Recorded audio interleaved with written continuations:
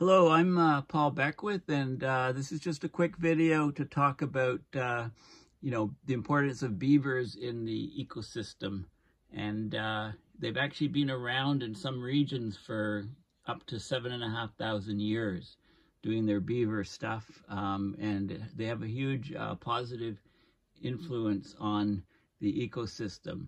So as more and more people are talking about rewilding and nature-based uh, solutions, ways to store more carbon, etc., you know, beavers and uh, other uh, critters are very important parts of the system that are often overlooked. So this video is all about uh, the beavers and their ecosystems and um, especially beavers and the Tetons. There you go, for millennia. And, uh, you know, there's also, I'll cover uh, worms in another uh, video soon because worms are, they play a key part in breaking down silica-based materials, rocks and things for weathering. And of course, we know that weathering is a way that CO2 is removed from the atmosphere long term. Worms actually really accelerate the process. Okay, so these are AGU papers, the American Geophysical Union, which occurred last week um, in uh, San Francisco for the week. It's one of the largest earth science, well, it is the largest earth science conference in the world. Um, it's held every year in the U.S. I went to it a number of years ago in New Orleans. I'll probably go to a conference uh, at some point again, uh, depending on where it is. Um, there were about 27,000 scientists in attendance. So it's a very, very big science conference. Um, it's not just climate change. Probably most of the papers on climate these days. Uh, but it's volcanoes, it's landslides, it's uh, you know, stuff on the oceans, all uh, the earth sciences. Uh, there is a European version, the, Ameri the European Geophysical Union, which probably is worth attending um, at some point. Probably just as important or more important than, than the COPs that are going on. Okay, so this was presented um, for that conference. So what they did is they analyzed lake sediment in the Grand Teton National Park, I think it's Wyoming, um, to piece together the ecosystem history, um, and there's implications for um, rewilding and land management today. Okay, so this is an adult and juvenile beaver, uh, munch on vegetation near Windrose, Oregon. Okay, so I've actually, I don't know if you've ever run into beavers yourself on the um, out in the wild. Um, and it reminds me, there, there was a Canadian magazine, I don't know, 100 years old. It was called The Beaver. And uh, they changed their name. You know, it was all about um, nature. Anyway, they, they, they changed their name uh, because uh, they were getting the wrong type of, uh, you know, when, it, when things became digital and they had their website, they were getting too many um, too many redirections to their website that were undesirable, shall we say. So, so they changed their name.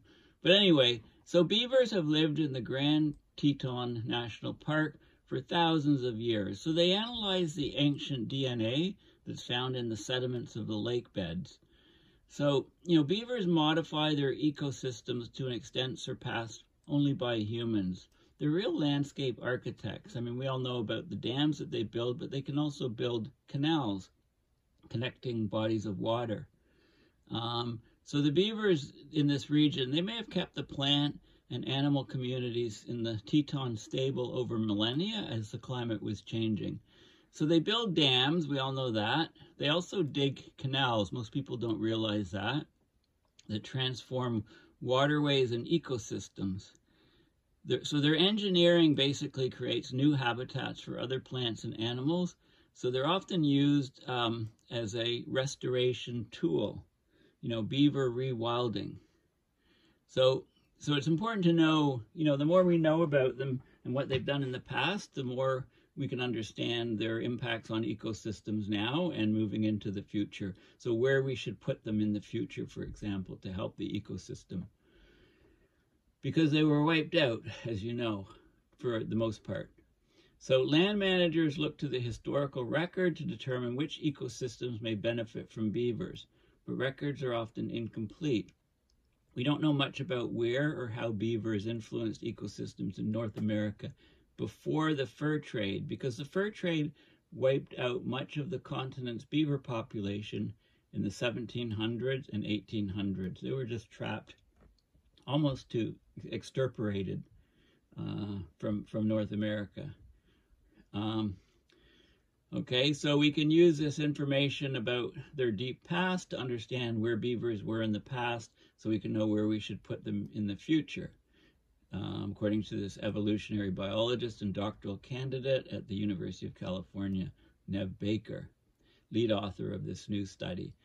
Okay, so they basically, so all living things shed DNA into the environment, okay, um, through dead skin cells, hair, excrement, and other bodily fluids.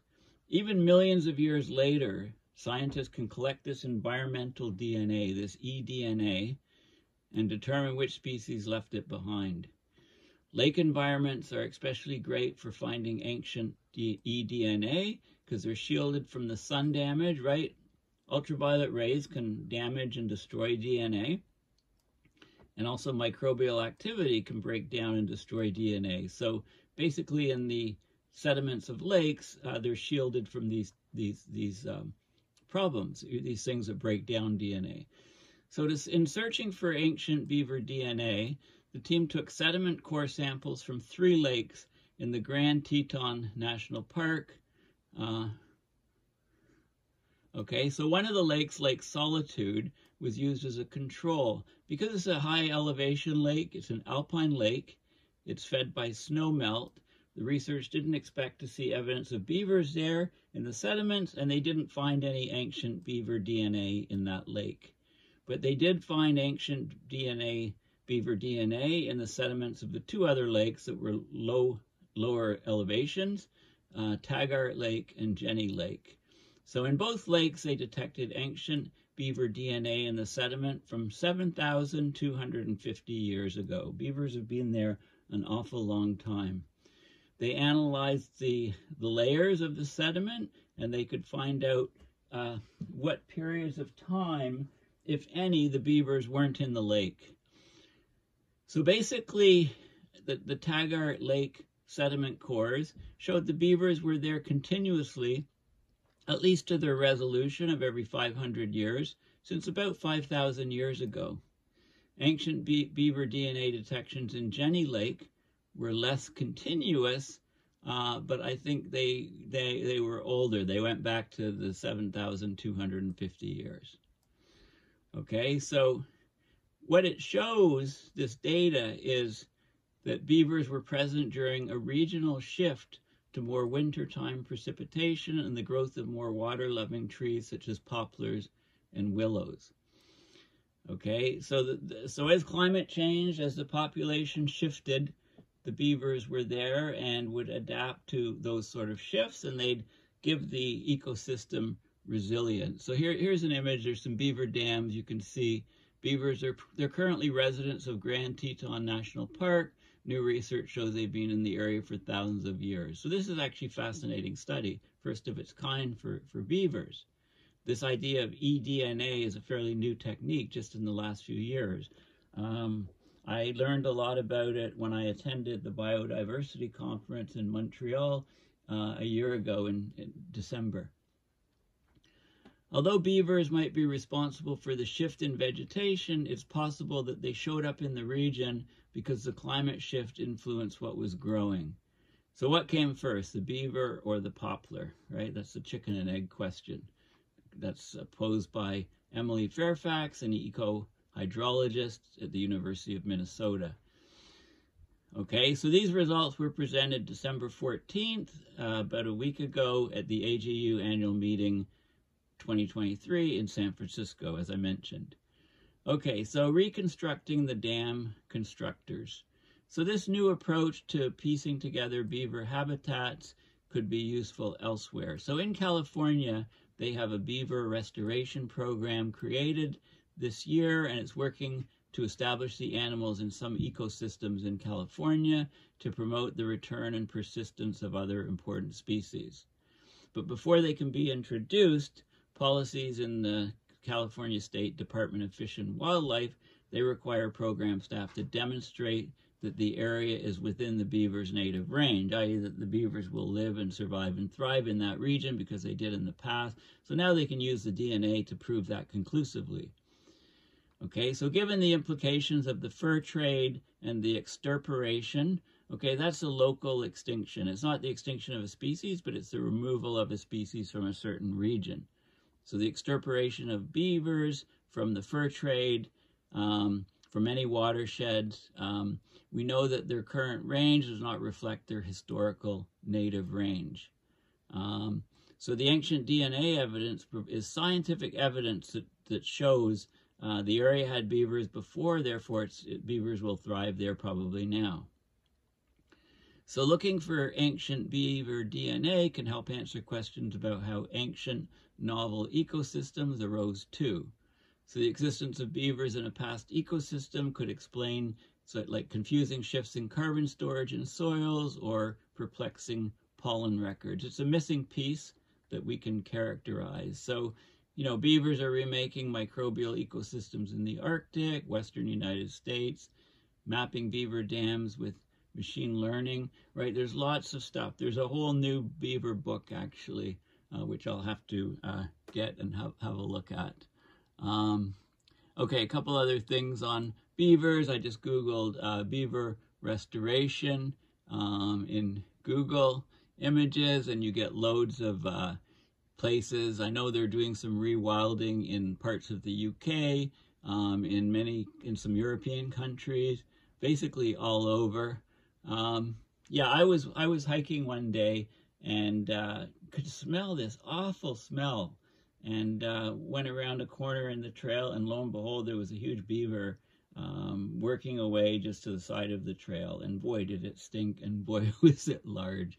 So you can, I didn't realize that they, they smelled quite like that. But anyway, there's lots of work um, on restoration, rewilding and stuff, and beavers. Beavers and, you know, wolves are also very important as an apex predator.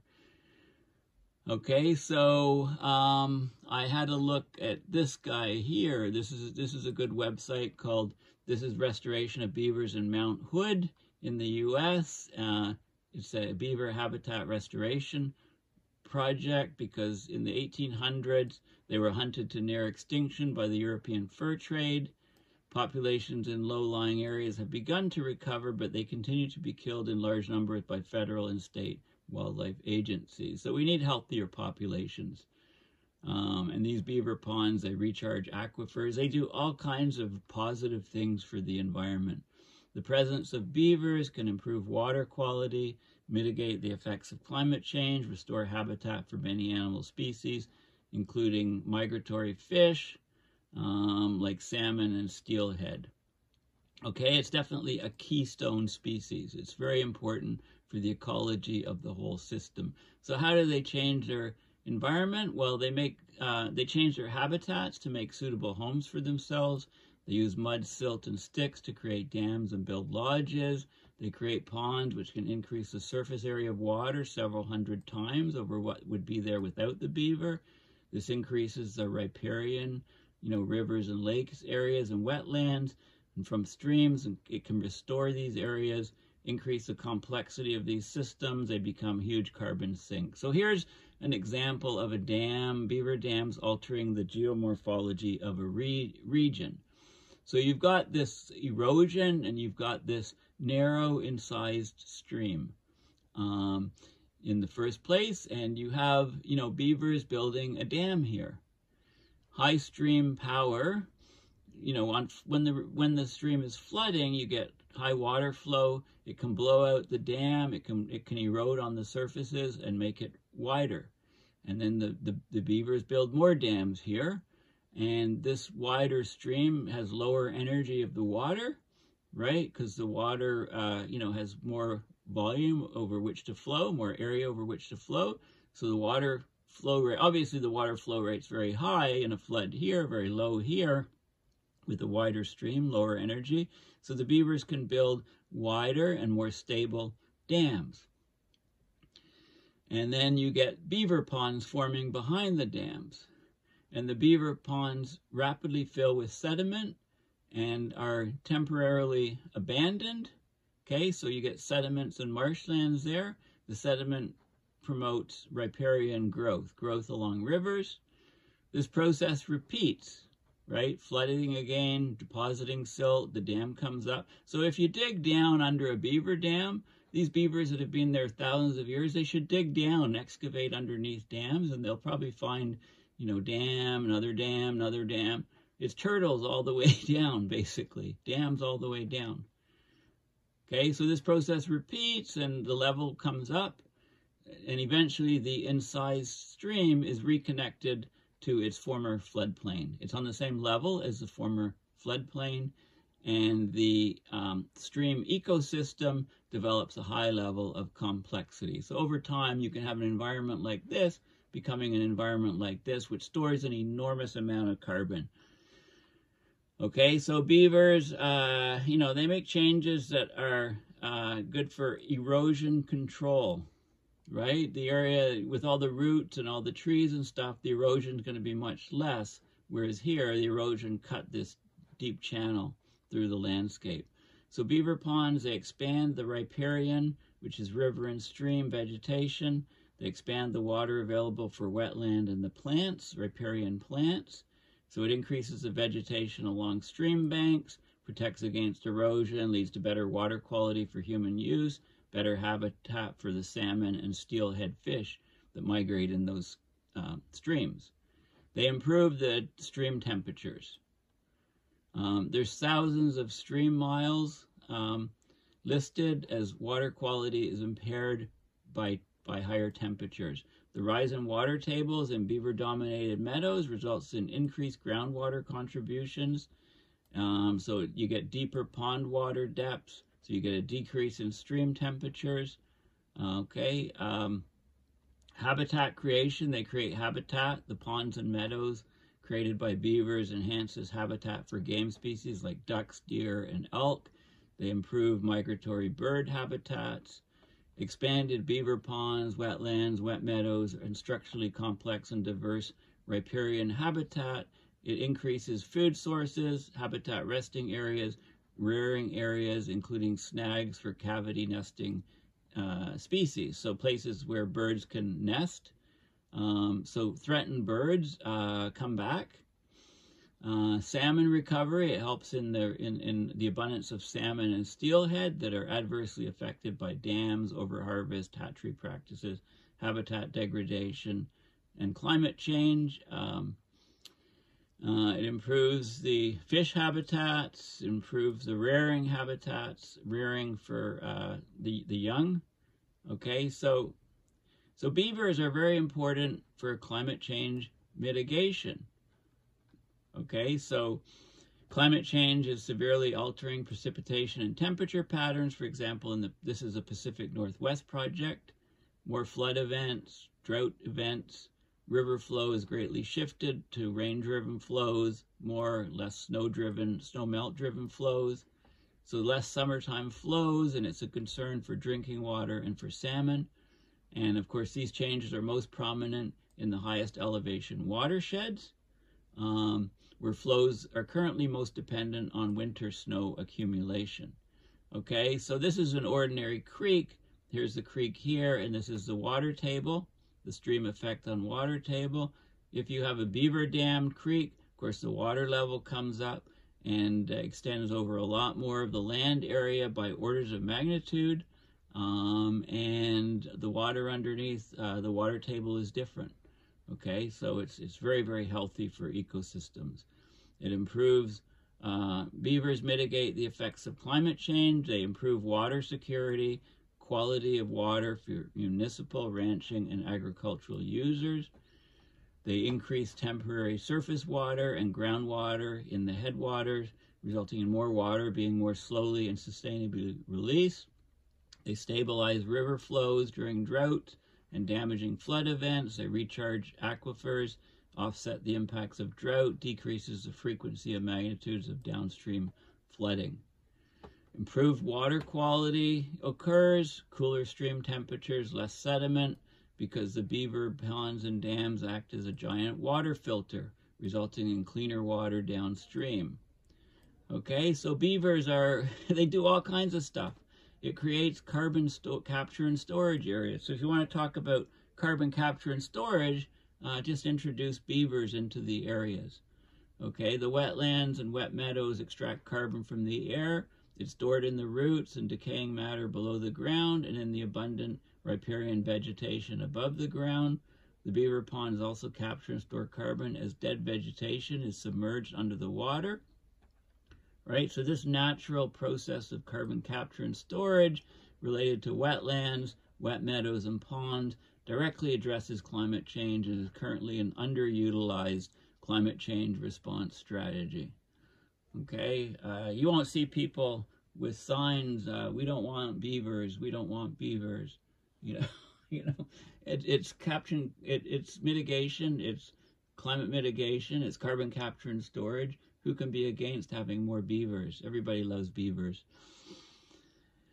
Uh, creates wildfire safe zones for wildlife and livestock, right? When wildfire goes through the area, if there's all this water on the ground and riparian and, you know, lakes and ponds and enhanced watershed, um, those are somewhat fire resistant, right? So an increase in the size, severity, and frequency of wildfires is expected and seen with climate change so if you increase the abundance, size, and distribution of wetlands, wet meadows, and ponds, then you get these safe zones, that it creates these safe zones during wildfires for the wildlife and livestock to retreat to.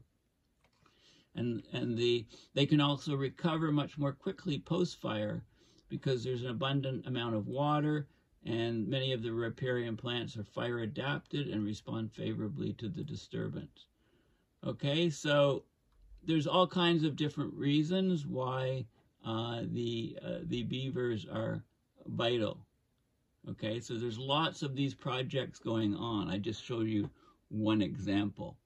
Okay, now this is the um, this is the abstract uh, from the paper at the EGU. So let's just have a look at what it says here.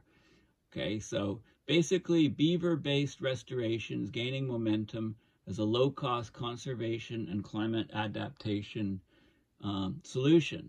But relatively little is known about how beavers in North America were tempor temporally and spatially distributed prior to their near extirpation by the European American fur trade. I mean, beaver pelts were very, very valuable, um, and they were basically massacred, the beavers, uh, so people could make money accessing their pelts, fur coats, and all the rest of it.